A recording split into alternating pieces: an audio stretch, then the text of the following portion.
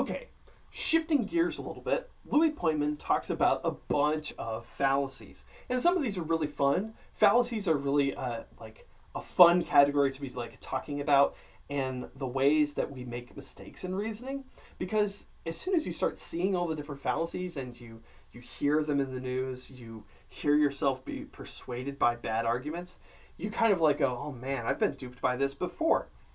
So I usually think uh, that like all the different examples he gives are pretty good, but some of them might be a little unclear. I'll just focus on a few. The way I think it is most helpful to be thinking about fallacies is to think of them as parodies of good reasoning.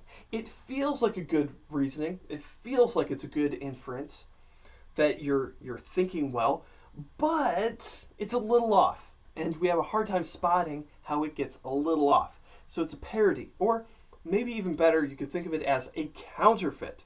A counterfeit to good reasoning. Occasionally you get duped by counterfeits. So here's an example. The appeal to unqualified authority. So it has this structure listen to this source on this topic because they are authoritative about this topic.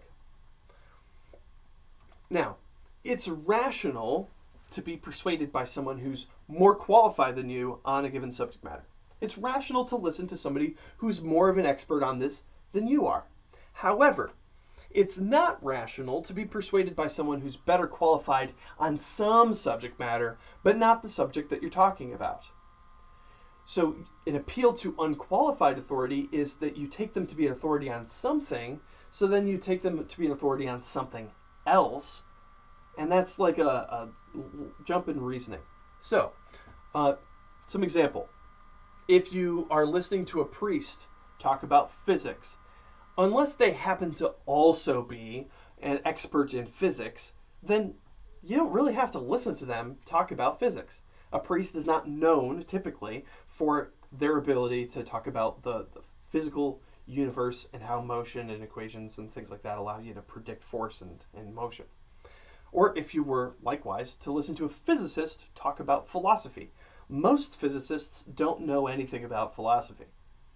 Uh, so if you listen to Neil deGrasse Tyson about philosophy, he's probably going to say some things that are just showing his ignorance of philosophy. He's an authority on astrophysicist uh, uh, matters about like cosmology, the beginning of the universe, how particle physics works, but he's not going to be able to tell you much about philosophy.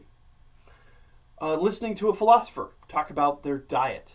Philosophers are not known for having good diets. Uh, they're not also tending to be nutritionists on the side. So, listening to a philosopher about their diet, take it with a grain of salt.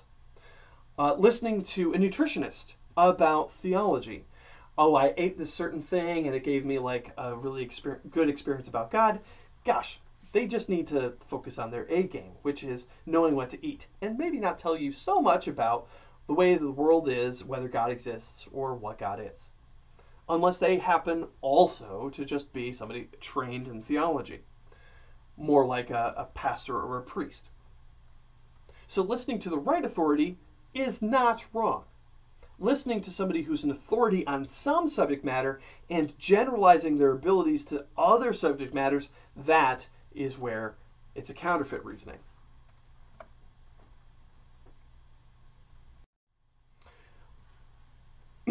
if you think of fallacies as parodies or counterfeits, there's another good one.